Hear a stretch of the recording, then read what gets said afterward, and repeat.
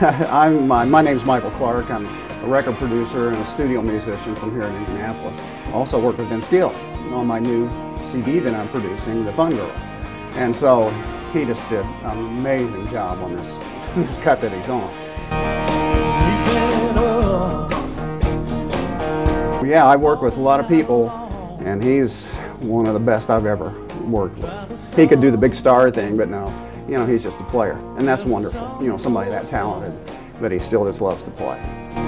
No that, he gets typecast as a country artist, and yes, he is. But if you go to his shows, I mean, he'll do a big rock guitar solo and then go to a, just a bluegrass acoustic thing and then do a big R&B kind of thing.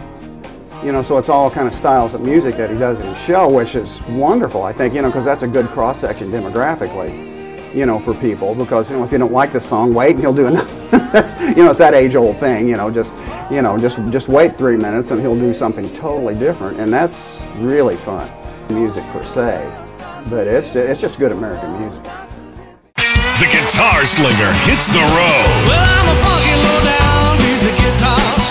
Vince Gill, live in concert. You know sucker, Friday, October 19th, 8 p.m., Clowes Memorial Hall.